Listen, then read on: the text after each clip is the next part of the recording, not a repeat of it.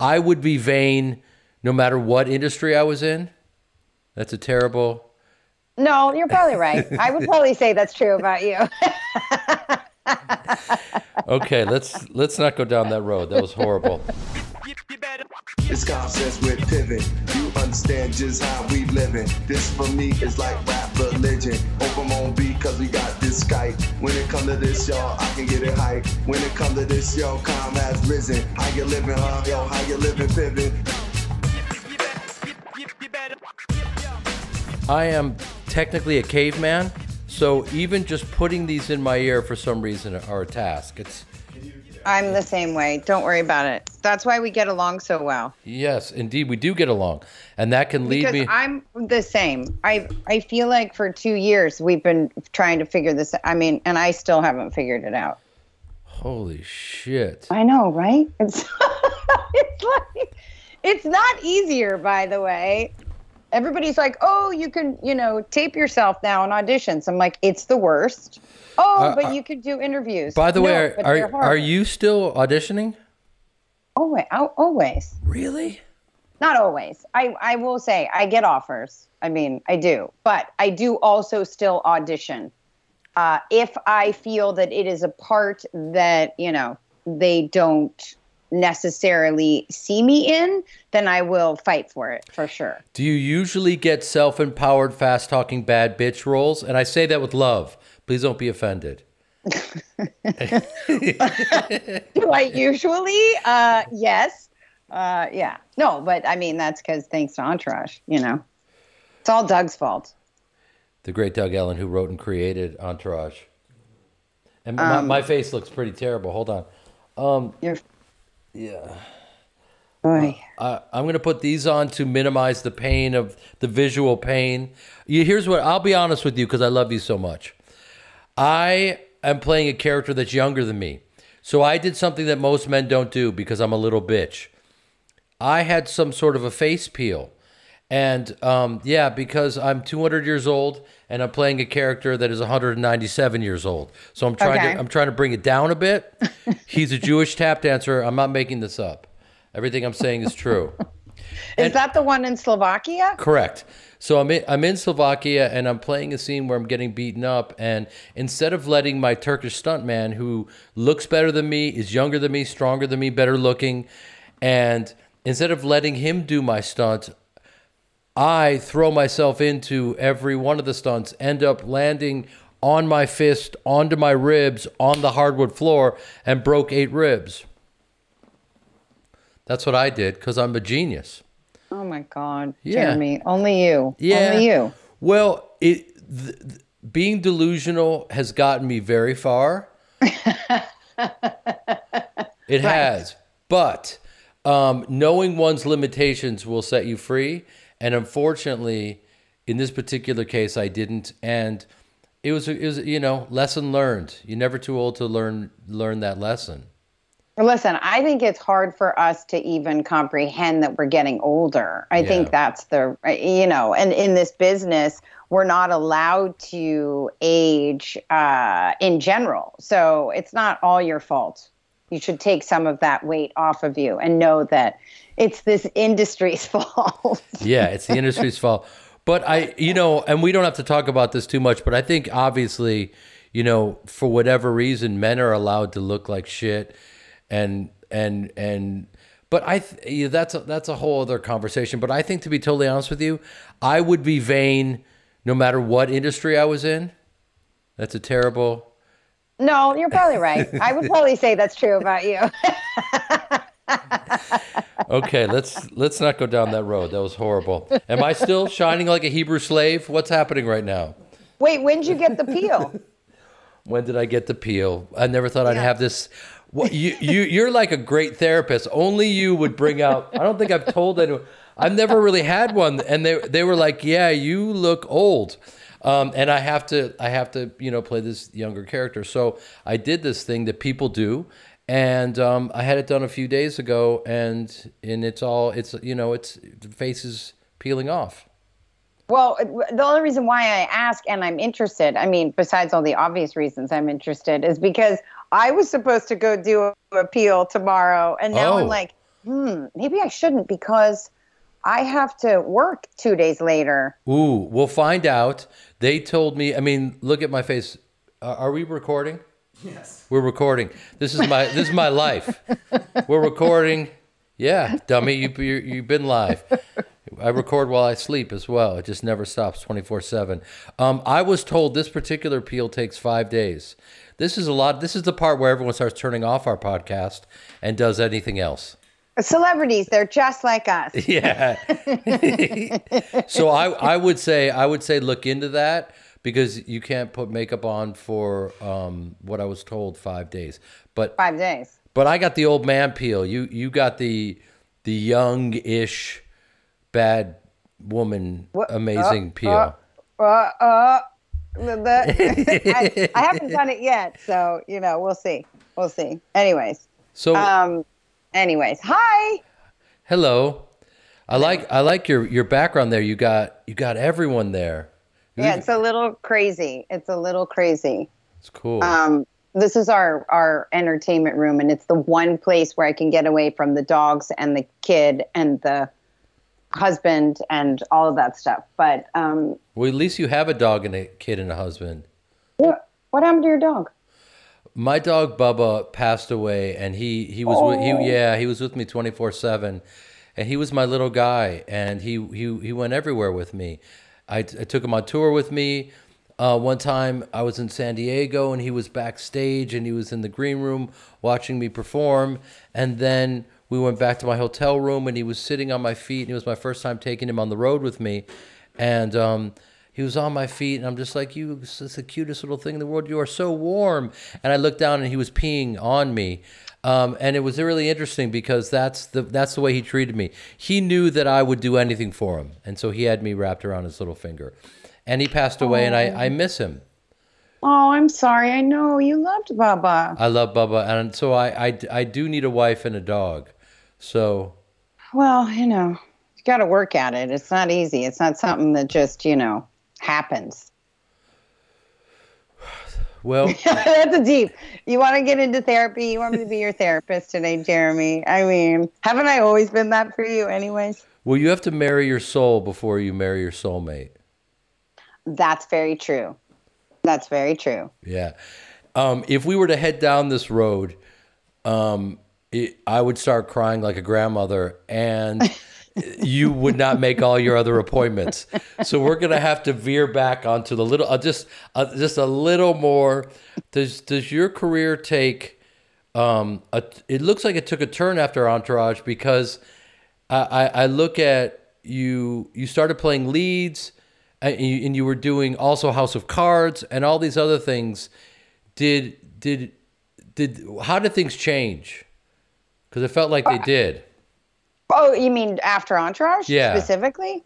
Well, yeah. I I think you know Entourage was a very good launching pad for me in in terms of playing the kind of strong, unfiltered, um, badass women, and Yeah. I think because Dana was you know one of few strong women on that show in general. So I think that we stuck out even more so, right? And there were more strong women written in television shows. Not very many, but they started happening. And so because I was at the forefront of that, it kind of was a very easy transition to continue to play those roles. Um, and you know house of cards uh, you know if you look at kind of all the house of cards or newsroom or,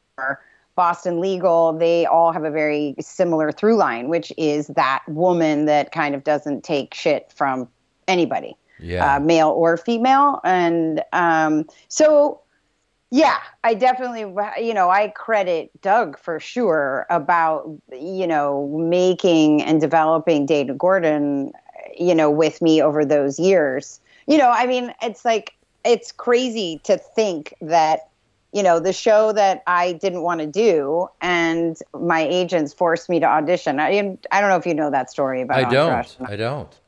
but they I didn't want to audition for the show because I saw the first season and I was like, all the girls are nude. And um and uh, Except, but not Perrey, not not Mrs. Ari, not Perrey Reeves. no, but Perrey was still scantily clad uh, in clothing, even the first season, you know. But I mean, when you look like that, you know, Perry can. I mean, I I can't. I. Uh, anyways, that's a What are you nother- talking about? Dana and Ari ended up rekindling.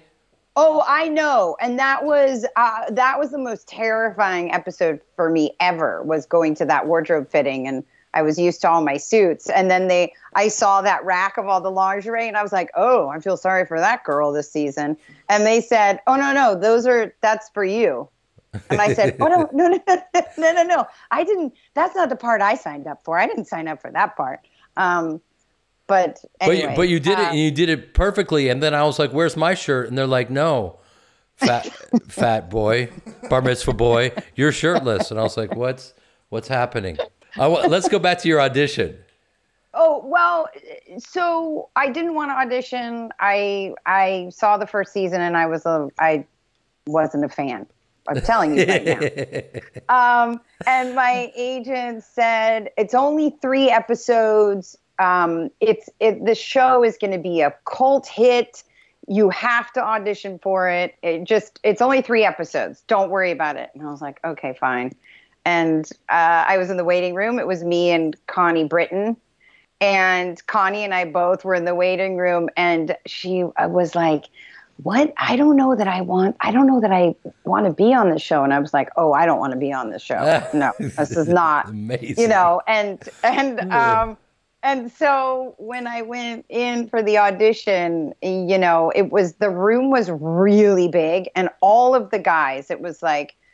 Doug and Rob and uh, I mean there was like five or six guys in the room, and they were all way in the back, and the auditions were way at the opposite side of the room, and so I kind of the first scene was like a scene with you, and it was one line, and it was on the phone, Yeah. and it was yelling at you, and I said, you know, is this really necessary? It's one line and they said, uh, yeah.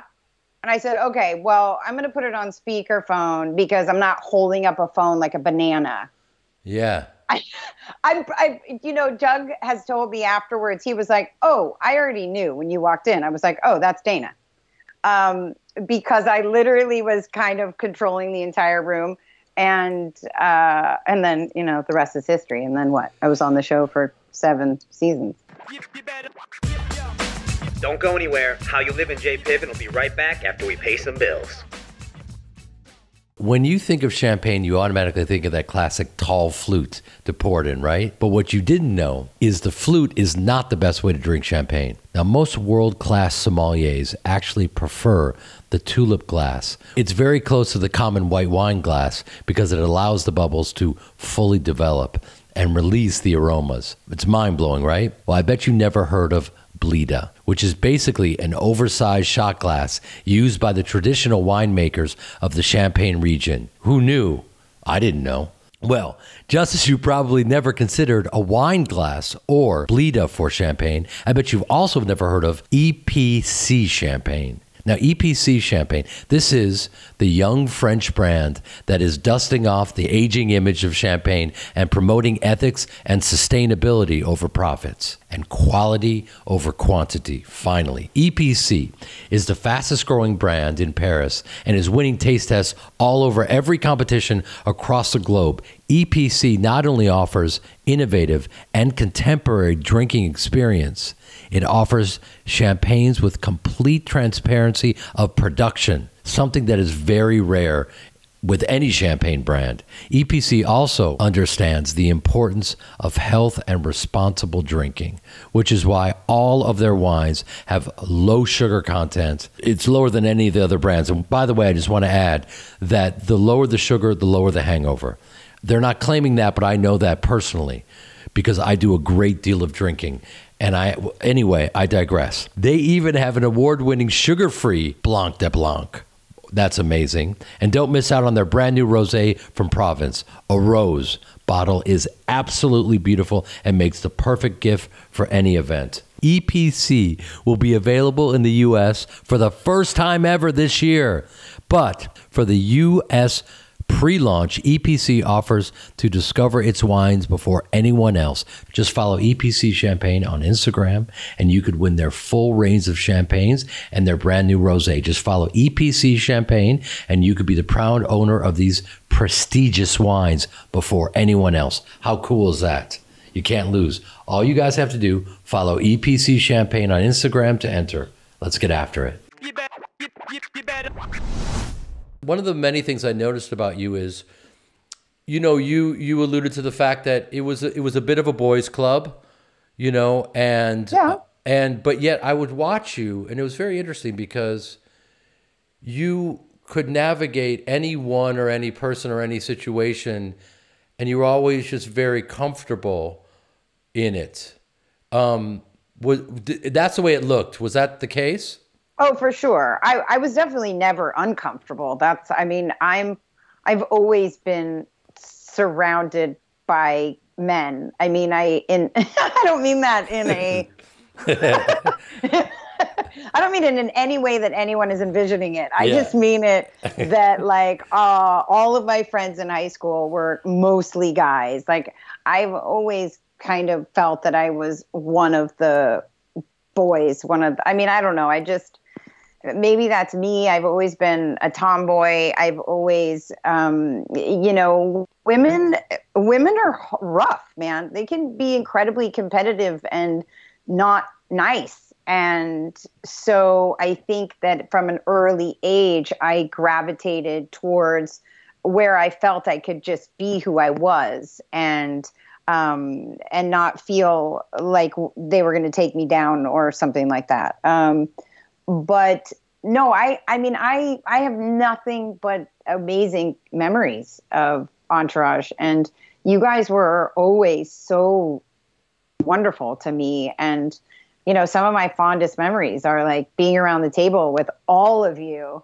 and all of the guys just going okay constance let's talk about like how do we how do we find how do we get good girlfriends? How do we find the women we're going to marry? How do we where should we go to find you know uh i don't want to say women like me but like where do you know that it was it was just always felt like we were always doing this right? It always felt like therapy sessions and like oh let's talk about this and oh what'd you guys do last night? And how'd you find that person? And you're not going to find someone you know at a bar if it's people You- I, you know, I, I, I probably should have had more conversations with you about that. I think probably probably like Kevin Connolly was having those conversations with you, and I should have been having those conversations.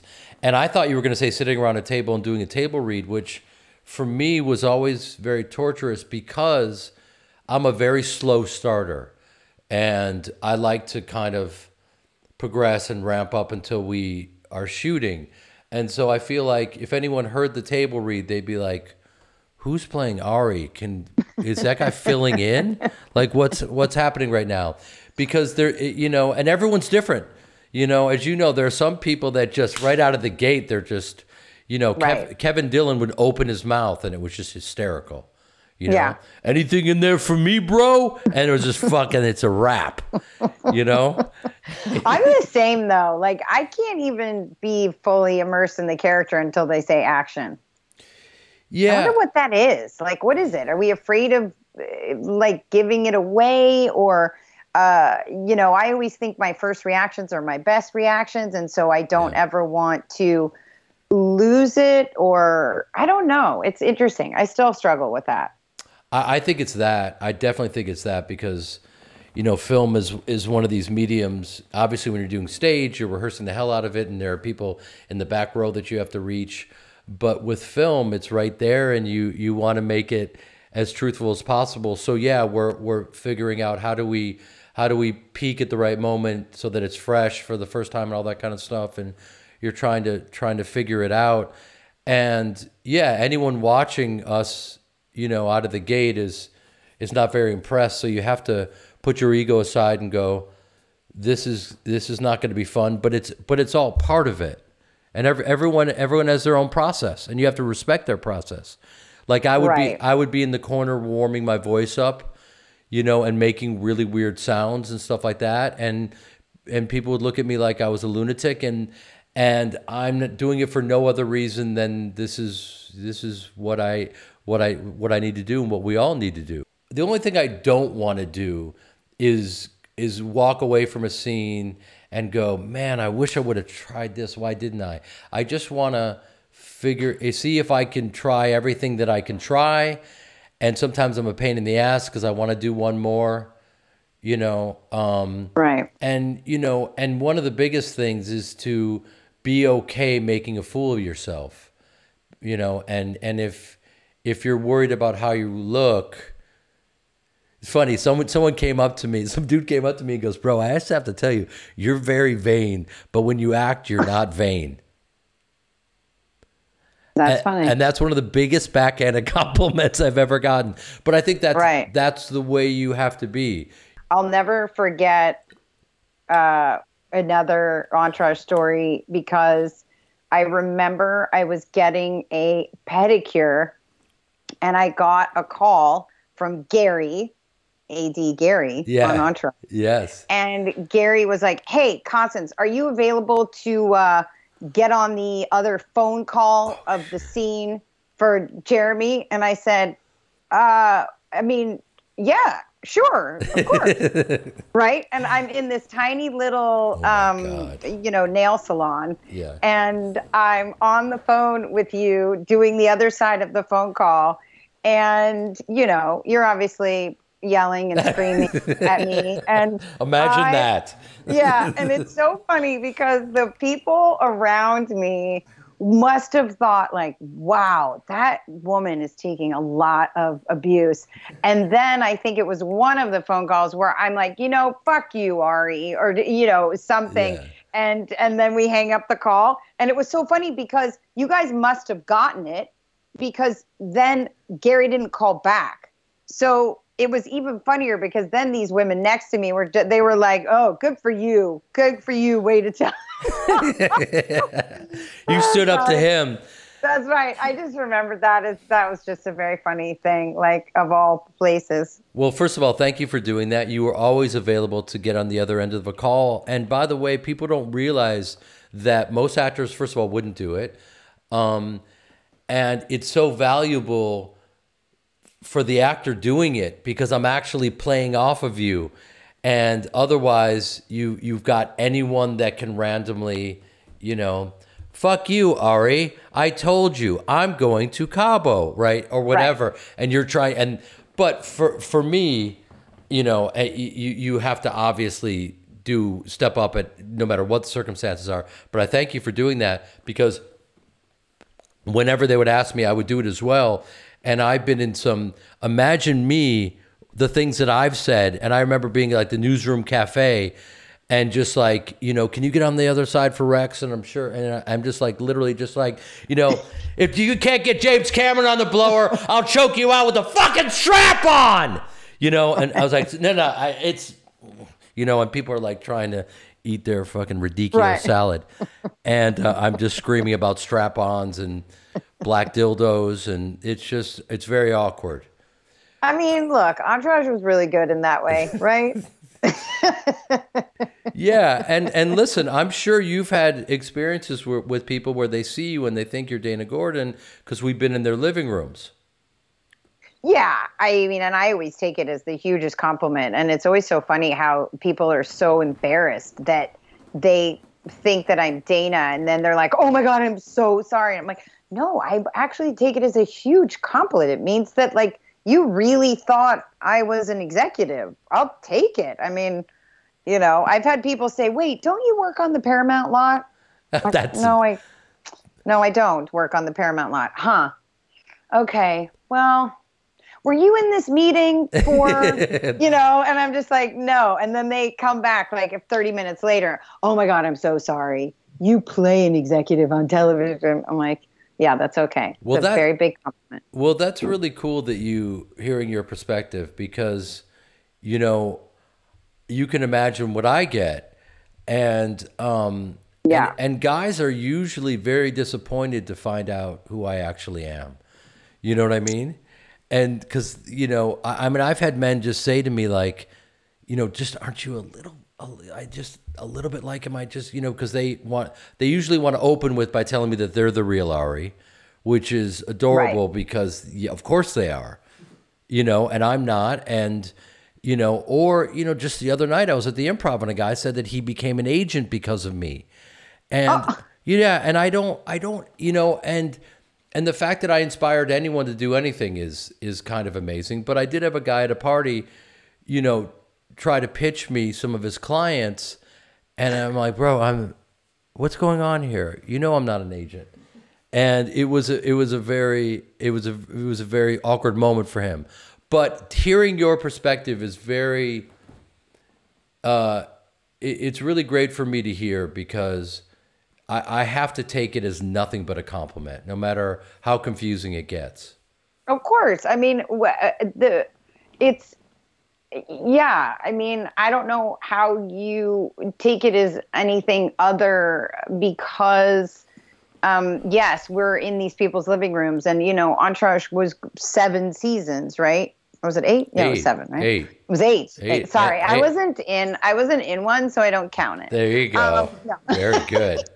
No, but um, you know, I think what's the part that's always weird to navigate is like the level of what Ari was, and like I have that uh, on Unreal with Quinn. Like they're such intense, angry people that when when people come up to me and they're like afraid to talk to me because they think I'm going to yell at them, that's when I'm a little like, guys, it's a character. I'm actually I'm actually not that mean at all. And but it is still a compliment because it means that it was so believable no matter how big it was it's i just it makes me laugh i'm just i go no i'm i'm not mean at all and you know everybody always wants me to curse at them and Yeah.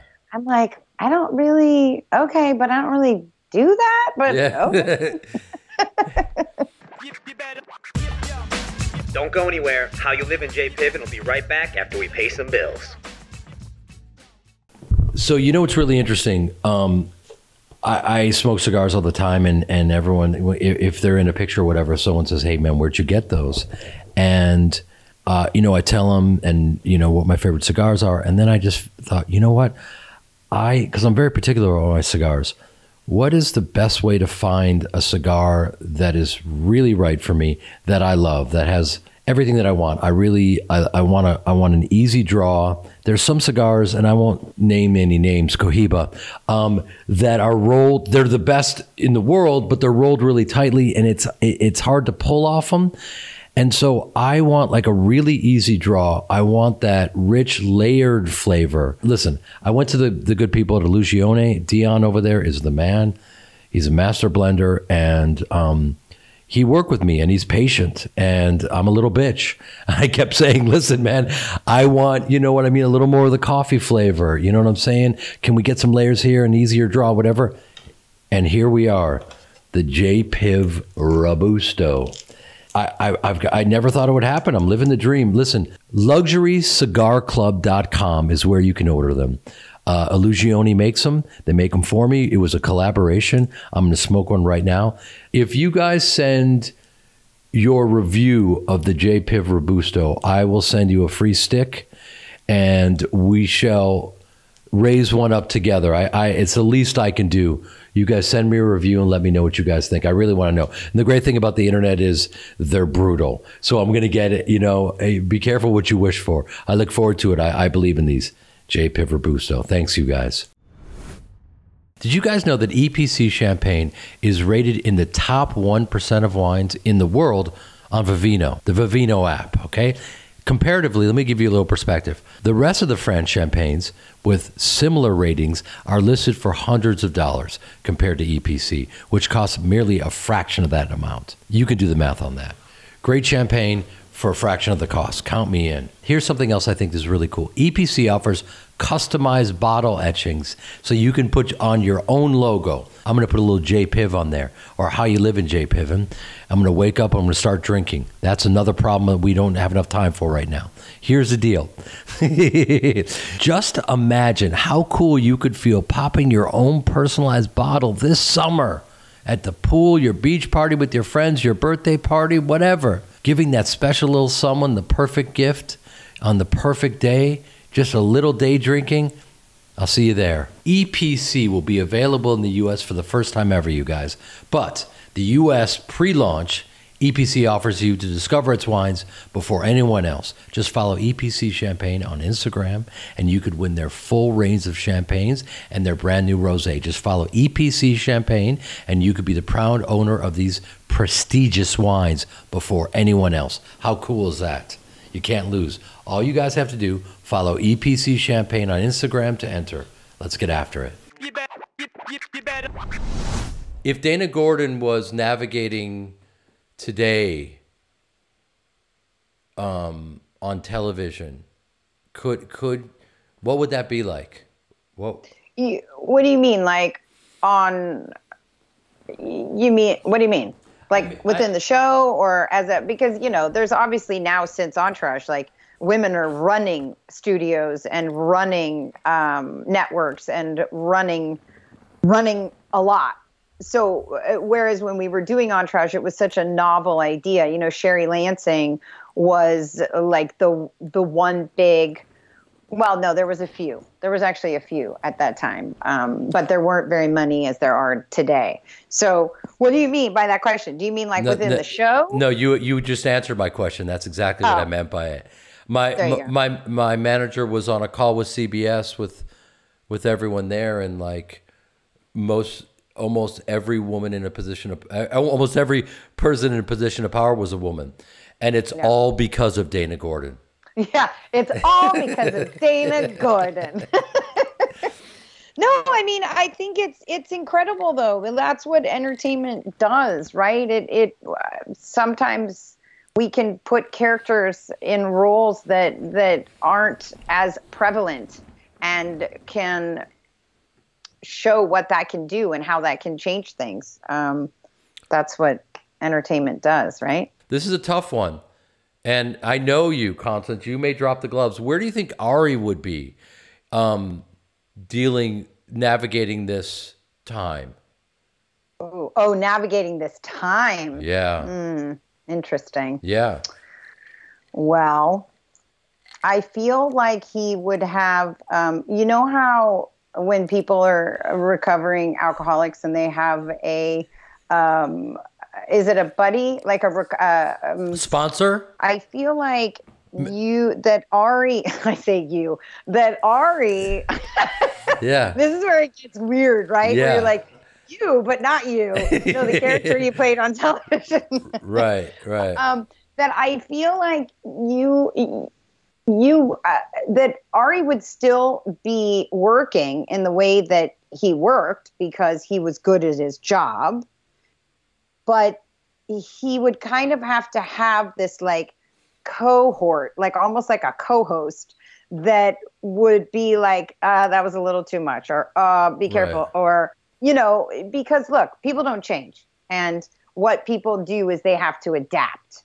And you know, Ari Emanuel is still doing his job the way he's been doing his job. Um, he just probably can't get away with as much as he used to get away with. Let's just say, um, and it's having an awareness. But I do think that Ari had that, had the level of awareness, and the reason why I say that is because you know, bringing it back to the storyline of the um, you going back to your wife um, is uh, there's a there was that part of that soft soul of of Ari that we all got to see and appreciate. So I just think that Ari would have leaned a little bit more into that and you know maybe have realized that he could still get as much done by maybe not yelling as much. Right. But, eh, you know, I mean, I think it's why people loved Ari so much too. Is he was always saying the things that everybody wished they could say but didn't, and um, Yeah. so That's what's so interesting, by the way. That I mean, think of some of the things that, that Ari said to Dana, you know, about Cabo and things that went down, and Oh, yeah. all, all this crazy stuff. So it wasn't just his his the tone of his voice, which he was yelling a lot. Um, it was what he was saying, and you know, they obviously had this relationship and he loved Dana and loved his wife and loved Lloyd and there was tough love everywhere. Um, and he had just a way of expressing himself that was authentic to him and he was abrasive and funny and and all of these different things that today might be thoroughly misunderstood. Yes, for sure. And I think that we all have those people in our lives who might deal with situations that might not necessarily be appropriate, but you don't you you have discussions, you communicate, you you know, you can't just write those people off. Um, y- you know because i do think that you when you when you have people like that in your life you are aware of that right? And you either decide that i'm going to work with this person in this way and i'm going to help them or guide them to be better this way. Um, but to completely cut that person off you're not going to help them right? And those people can only be helped by the people around them who understand them and appreciate them for even the way that they might handle stuff. Um, uh, I don't know if that makes sense. No, not only it makes more sense than you may ever know, because because that is the the healthy and real and true and right way to proceed with that. And I think, unfortunately, um, for whatever the reasons, we're living in times where people are are writing people off and not willing to have these conversations with people and to figure out, you know, who what they really mean, what is their intent, what's going on, is there another way to say these things? Um, and so I, I think it's fascinating, and and what you suggested about Ari, I think would be hysterical if we ever were to investigate these characters again, which is that right hand man to help guide him socially, um, Yeah. and to navigate. You know how many times he correctly identified a pronoun, how many times he uh, mansplained aggressively. Right. You know what I mean? And they could he could have a little card and he could tally it and they could have a, a huddle in a team meeting. And I think Ari would last about eleven seconds, which would be hysterical. or Ari's entourage is all just people making sure he's PC. So you have you have a woman, you have uh, a BIPOC person, you have uh, a um, you know somebody from the LGBTQ community, you have another man, and that becomes your entourage. So instead of your entourage being just all these like you know really cool guys and actors and this, it's like you actually have a team where it's like, is that right? Did I do that right? Okay, I didn't. How can I do that? Well, did I do that right? I mean, yeah, kind of a silly. It no, it's just it's just woke boot camp. He needs some Yes. a, a woke boot camp. And, and and by the way, count me in. Right. Count me in, man. I think Yeah. that would be amazing. Yeah, or Ari has to be an assistant to a full all female staff, you know. That would also that would also bring Ari down to a level that uh, would be really interesting to watch. If all of if you had, you know, you have a studio run by a woman, you have a network and it's all women and then Ari's in the middle and still doing his job, but now is in a surrounding where you know he's he just has to be very aware, Yeah. a little bit more aware. Yeah, but I mean, I think that leads to uh, um, exciting and fun creative content. I mean, who No, would oh, who wouldn't want to see someone try to navigate that? That could that could be absolutely uh, fun beyond belief. Um, I remember it's funny. I remember the New York Times coming to me and saying, "Do you want to talk about Constance?" And I was like, "Oh my god, that would be that's easy. that's easy." And it was so easy to celebrate you. Um, and and to be honest with you, you know, because you know, um, for whatever reason, and, and before, you know, I remember winning the Fresh Face of the Year award at 37, and I said, "There's something fresh about my face." Thank you. um, and and not, never being the popular vote, and always being uh, a journeyman actor, you know, to get attention for that was something I'd never experienced before.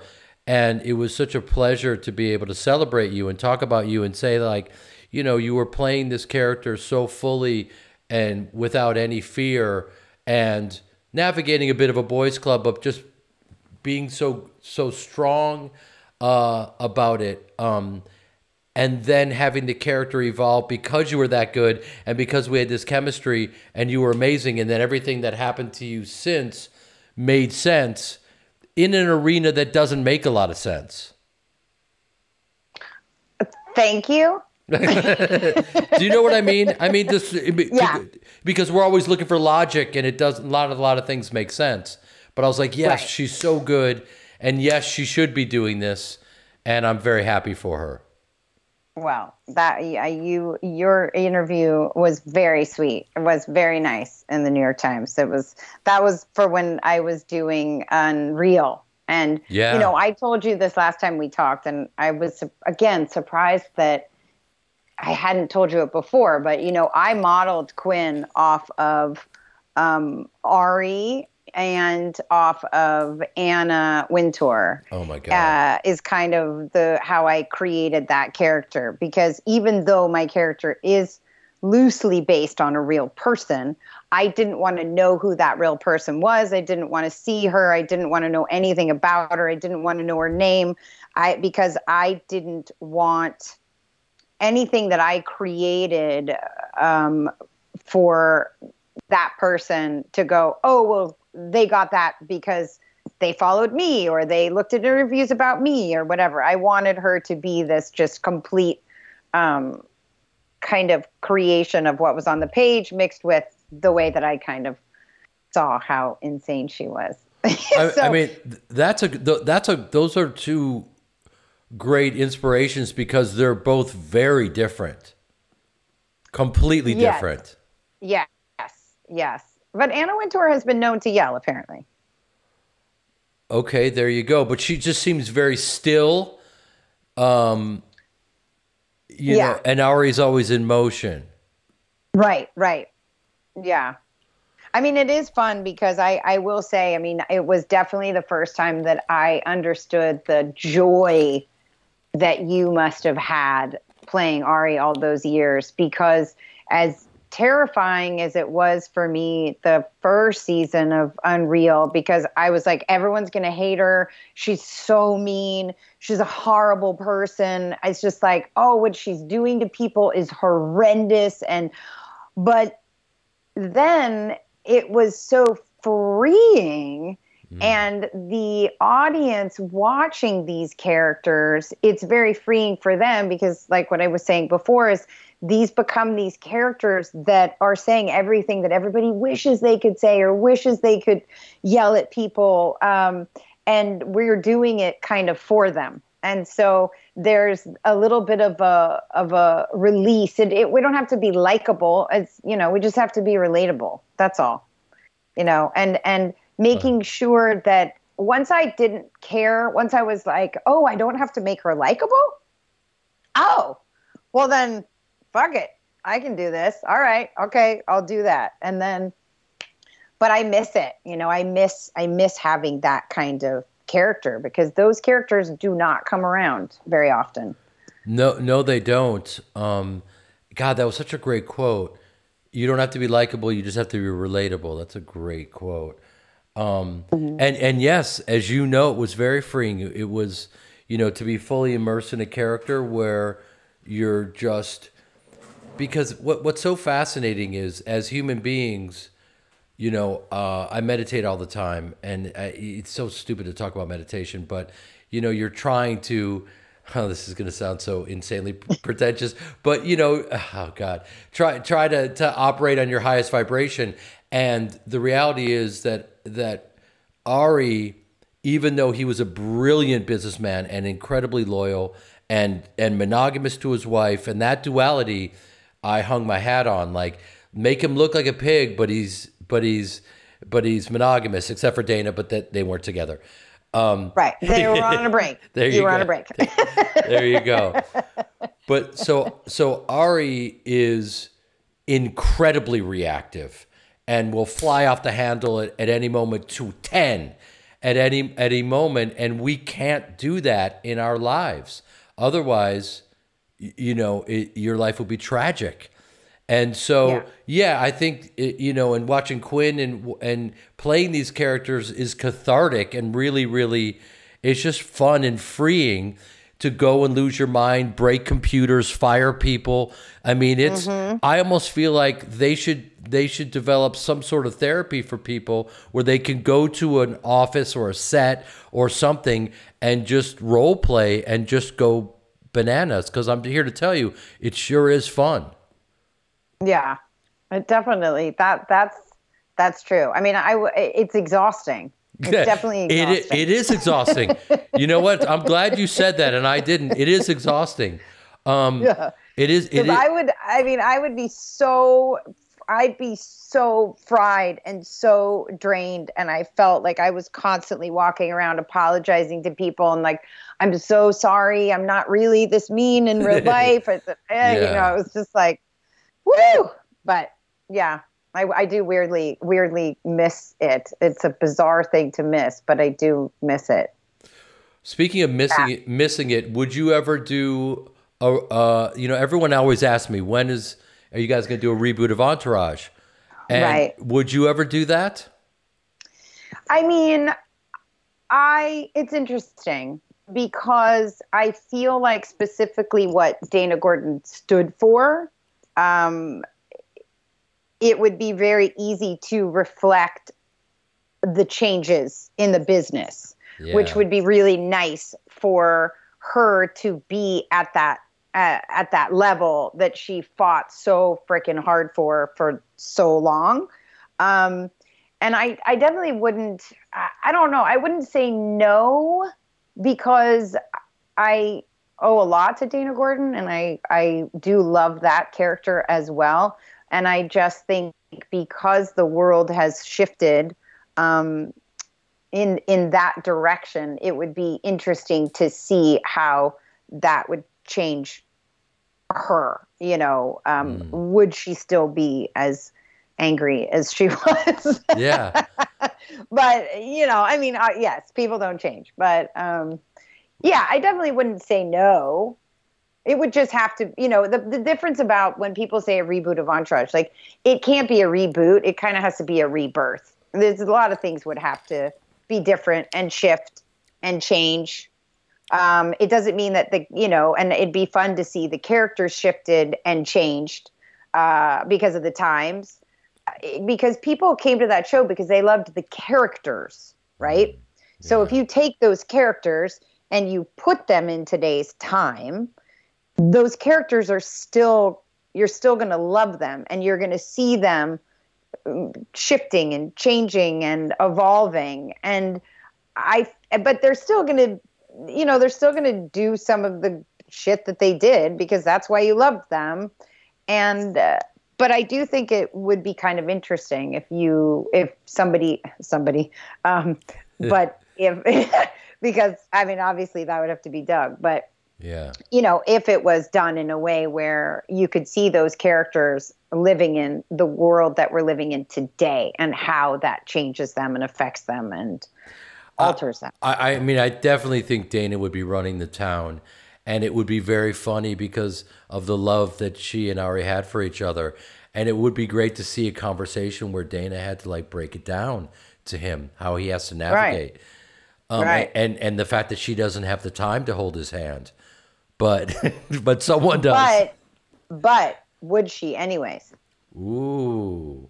Mm-hmm. I know because I think that I do believe that true love is true love, and there's a lot of people that you will hold their hand for as they walk through shit. Uh, no matter what they've, no matter what they've done to you. I just, I think that's true. I think that's honest, and um, Wow. know, yeah. I love don't you. know. I love you, Constance. oh My God. What just happened? Oh, I know. I just, I'm. It's you know, it's it's rough out there right now, and I Yeah. think if Yeah. you know, if we all could just show a little bit more love and care towards people, that it might be easier to kind of try and get through some of this yeah. stuff that's happening out there. Absolutely. Yes. Um, we, we need each other and um, we have to have compassion for each other and we have to have tough conversations. And as you alluded to earlier, not just kind of write people off because we're all, you know, coming from places where we, we have, you know, we've had pain and we're navigating, Right. we're navigating the best that we can. I mean, don't get me wrong. There are some people that um, have shown uh, their colors, you know, for years and and should have been, um, you know, have been treating people unfairly for a very long time Yeah. and will never change. And so the there's certain people that I do think um, it's like bye too too little too late and you've already hurt a lot of people and somebody should have stopped you a long time ago um, but yes I, I do think there is a part of the whole cancel culture that is it's it's it gets a little frustrating at times because I do think some people who don't deserve it are getting um, thrown along, you know, thrown out with all the other garbage. Um, Yeah. And, and like I said, every situation is different, right? So, but you shouldn't treat them all like they're the same. Well, I, I thank you for saying that because I believe that is the conversation people are having in private and not in public. So for you to say that, I I love that, and you're you're a real one. That's for sure. I know. Sometimes too real. Sometimes, you know, You can never be maybe that's yeah. never you, you can never be too real. Come on, what are you talking about? I don't know. It's just, you know, I'll probably get canceled. They'll be like, oh, really? You want to talk about cancel culture, Constance? Well, um, no, I just think, you know, we all have to be honest. If we could also, if we could just be honest um, and stop lying and, uh, you know, just pretending that some of us are better than others when truthfully, we're not. You know, we're, we're, we're all we're all similar. We all are relatable, and um, yeah, I just think it's a rough time, and like to make it even rougher is not helping anity. You, know? From your mouth to God's ears, man. Um, Yeah. I, I really appreciate that. And um, um, how, how do we end this incredible conversation? I'm going to ask a very cheesy question. Um, if, if we're, we're doing a, a new segment, there's like one thing in your life that you love. It could be anything, you know, uh, something mundane. I don't know. Right, I know. Well, I, I will say um, it just to keep it in the vein of entertainment. Um, that I would say that like I really have found a new love in the business and in creating and actors and all of that stuff is because I've been directing and Ooh. that to me is like okay so this is going to be this is going to be my my other love my Oh. yeah I could. That's amazing. That's great. I can see you Yeah. b- being a really good director. Um i mean i'm trying. It's i do think actors make the best directors. Um that might be biased but i do think it's true because you and i have worked with a lot of directors and the ones who are actors or who have studied acting know that actors like to be talked to Yeah. um, and you know, I I can use a lot of my experience from working with all of these other directors and things that I know helped me as an actor that I can pass that on to help other actors. Yeah, yeah, and you know, I I got a chance to work with the great Pete Berg, Peter Berg, and he's one of the. I think he's as as prolific and celebrated as he is. I still think he's underrated. Um, and one of the things that he does is he creates an atmosphere for actors to feel comfortable and do their best work, which is totally underrated. You know, it's just like because we're about to make fools of ourselves. So, um, so please don't yell at me or or you know just make don't make it uncomfortable. Let me just you know let us feel very comfortable and, and whatever that translates to. So Right. And I, I don't I think even the most competent actors still like to be guided. yes, You know, otherwise we're just we're all over the place. And it's it's nice to know when you can let loose and when you should hone in. And if you don't and you're not aware of the rest of the episode or the rest of the movie, that's the director that's there to say, Hey, savor that, bring it over here, you know, and yeah. yeah. Don't show I that. really- mask that a little bit. That's going to come out later. For the love of God, let's let's work against that. But yeah, that's Right. awesome. Yeah. Uh, I love that you're directing. That makes a lot of sense to me.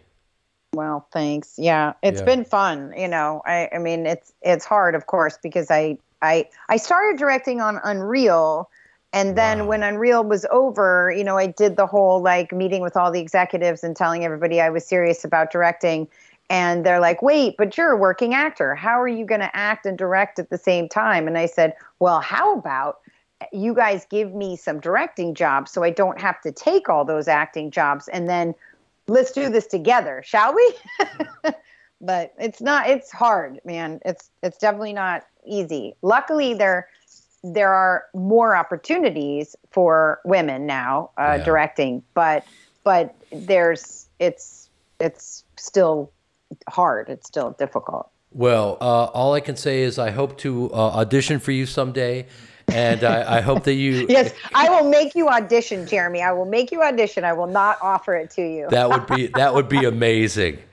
Listen, uh, I, I liked I liked what you did, but we're going a different way. Thank you, Jeremy. But I thought, thank you, thank you, thank you for the Uh-huh. opportunity, Constance. Yeah, I'll be like, but wow, you look so young. Have you had a peel lately? I've been peeling. I'm peeling. I'm molting. I'm. This is the first failed attempt at claymation. this has been amazing. I, I thank you for your time. I know you're crazy busy, and uh, I miss you. And I'll. I know. I miss you too. I thanks for thanks for having me on. Namaste.